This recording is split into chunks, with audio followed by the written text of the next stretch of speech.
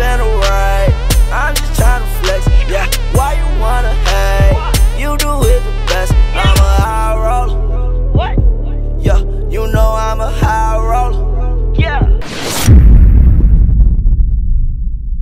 What's going on guys? So the secret to getting more vascular, every single person who's watched the video has commented this, so here it is. A lot of you guys wonder what magic foods do I have to get more vascular? Um, to be honest, that really doesn't have anything to do with it. So starting off, this is something that's gonna be long-term, that's gonna actually increase vascularity, is genetics. So my veins are just a lot closer to the surface of my skin. It's just the way I am. At 15% body fat, I'll be a lot more vascular in my upper body than someone at 10%. So genetics are the biggest key factor to increasing vascularity. That's something that you can't actually um, really change, unfortunately. Number two, guys, this is something you can actually change. I just highly recommend lowering your body fat. I know it sounds simple, but you're gonna be holding less fat in between your veins and the surface of your skin. So I highly recommend finding a diet where you're burning more calories than you're eating per day, and this is gonna help you lower your body fat. And that's why, generally speaking, you'll see someone that's a lot leaner have uh, more veins popping out. It's just because their veins are closer to the surface of their skin, and they've done that by reducing their body fat. So number three to add on to getting leaner is to get more muscular. This is huge, guys. I've never been a veiny person. My last cut, I had spidery shoulder veins, not on Kyle's level, but they came in. I could see both bicep veins loud and clear. Um, all my, everything was popping, guys. It's so important. As I've gotten bigger, as I've gotten leaner, even after this reverse, I'm still holding on to a lot of those veins. So we'll take time, and those are the three long-term things that will really transfer into getting veins don't stress out guys, even if you're not the most vascular person by nature, there is a hope for you yet. I'm in that pool with you guys. Kyle's more blessed, I'm less blessed. So I'm a testament that you can do it. However, these four, this is three, these four following things, guys, are gonna help you short term to make it really look like you're more vascular than you actually are. So number one, guys, is heat. Heat will really help bring out those veins. When you're sweating and everything, you're bringing those pores and those veins closer up to the level of the skin. Uh, so one thing that we'd like to do when we want to look really big is start working out in a hoodie. That's one reason to justify that. Do a little bit of cardio before. You're gonna look bigger, you're gonna look like you got a big pump, and you're gonna just look good. Or work out in Florida every day. All right, guys, number two short-term effect to kind of fake it when you're in the gym or you're doing a photo shoot or something.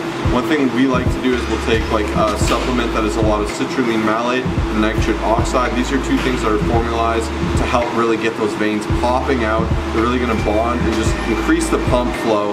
That's really gonna push everything out to the limit and just get your veins pumping. Uh, it's really cool if you take a lot of it, you'll see veins that you probably haven't seen before.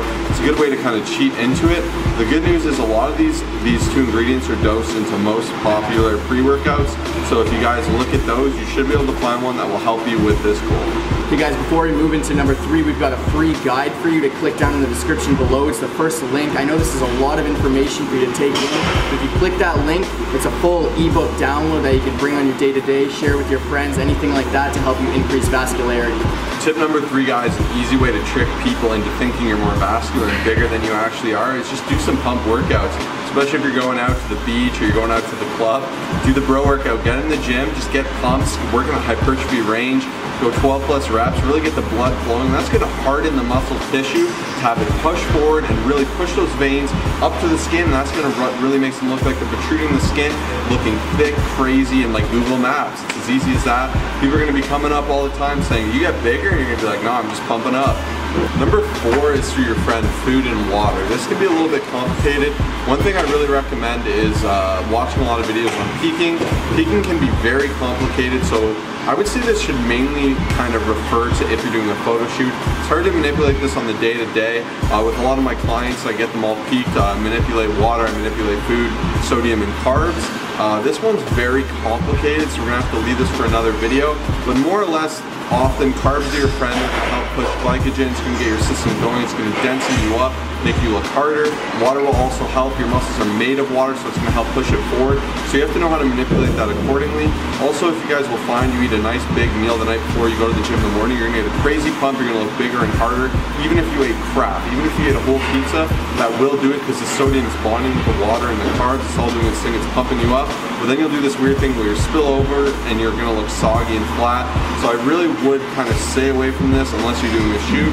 But more or less, I like to stay hydrated, just eat normal amounts of sodiums, eat my normal diet, and if you guys are following the rest of these tips nonetheless, you're gonna be looking vascular. Thank you all so much for clicking on this video. We appreciate you spending time with us here. Make sure to click that first link, guys, to get that free guide to increasing vascularity. Please share this video with someone who wants to get veins, who really wants to enhance the pump and look a lot bigger, leaner, anything like that. Like I said, subscribe if you haven't already, and we'll see you in the next video.